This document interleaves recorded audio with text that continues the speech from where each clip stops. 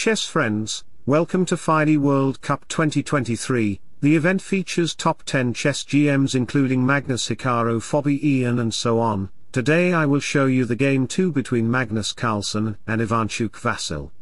Success is liking yourself, liking what you do, and liking how you do it, so let's go. Ivan started the game with e4, we have e5 knight to f3, knight c6 and we have the Ruy Lopez opening so-called Morphy variation, here you can play Caro variation of Ruy or the famous move knight f6, bishop e7, Magnus decided to play knight f6, castle, here some of you might think of playing knight takes e4, let me show you the variation, rook e1 is the common move here to attack on this file, but d4 is also playable. If d4 happen then just take the pawn, rook e1 may come to pin it, so d4, knight takes d4 then we will improve our bishop on d6, 2000 ELO rated players might think of playing f3 to attack the knight, but there is an amazing trap started with castle, sacrificing the knight completely, take, we will exchange the knights, then we will sacrifice the bishop away takes queen h4 check king g8 queen takes rook and you will lose the bishop.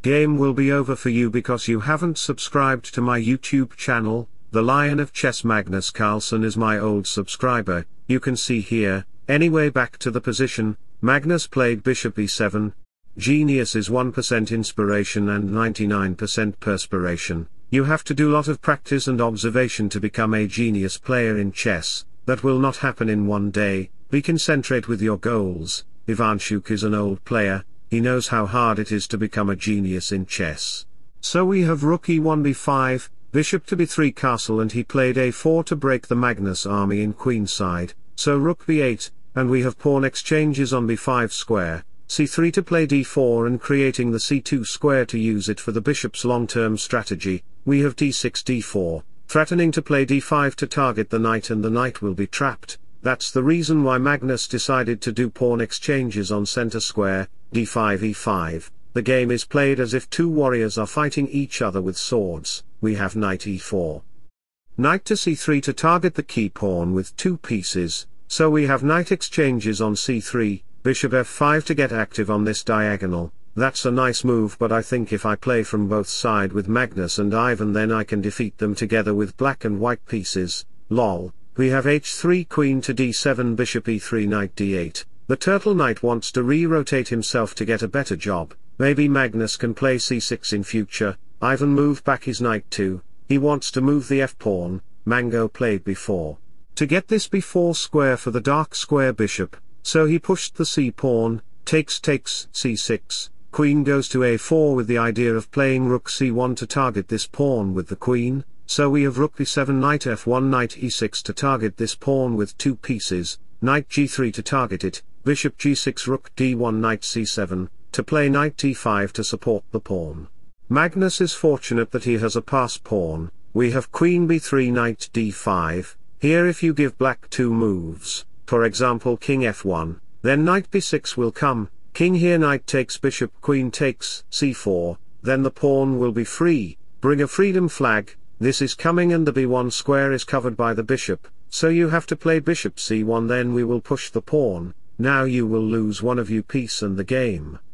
Be a first-rate version of yourself, instead of a second-rate version of somebody else, so back the position, Ivan played rook a5, rook a7 rook a1 rook to a8, look at the monsters, they are fighting with each other, queen takes rook and queen a1 check is coming, so Ivan played knight e2 but it is an inaccuracy move, best move was to take the knight with queen support, so Magnus played queen a3, he is threatening to move back his knight to target the bishop, and make a clear pass pawn where the bishop is also available there to support the pawn, Ivan finds the great move bishop c1, to protect the b2 square at the same time, Magnus says, I have a pass pawn already, bishops are doing very good job, knight have a great outpost, so it's time to do queen exchange, bishop takes queen bishop d3 to target the knight, so after knight f4 we have knight exchanges, this is the bishop pair versus bishop pair endgame, let's see who will win the game, c5 takes takes.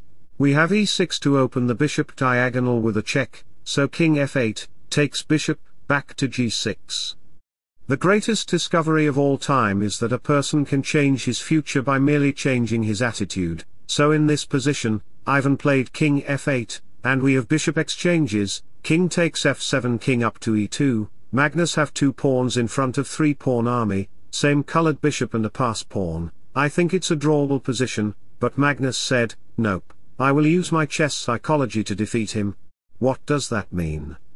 It means that black will give white a temptation with bishop d4, inviting white to play king d3 which was played in the game, it is called human psychology, now the f-pawn gets unguarded, best was to play g4, so after bishop takes pawn we have bishop d2, targeting to the pawn, so bishop c5, king c4 to target the pawn and bishop, but it is an inaccuracy move, best was to play g4, so Magnus moved back his bishop all the way, now Ivan decided to resign the game, because of you take the pawn. Then after doing bishop exchanges, the king will be far away from his army, which will lead black to capture all the pawns.